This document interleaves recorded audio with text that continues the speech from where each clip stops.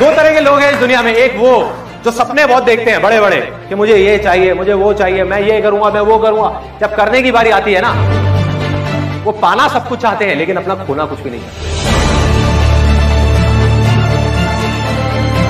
दूसरे तरह के लोग हैं, जो वो करने के लिए, जो वो करना चाहते हैं, अपनी जान लगाने को तैयार है।